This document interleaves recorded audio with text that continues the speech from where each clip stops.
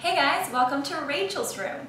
So this is the room that was used for all three of the Rachels. And right now it's set up for my characters. We've been filming here this weekend. So they changed some of the color schemes for each one, but overall the look stayed the same and a lot of the props and everything uh, stayed the same. So uh, it's really fun because I actually got to sleep in here both times that I was here for the filming. So there's nothing quite like sleeping on set literally. You don't have to go very far when you're filming the next morning in the same room, so that's pretty awesome.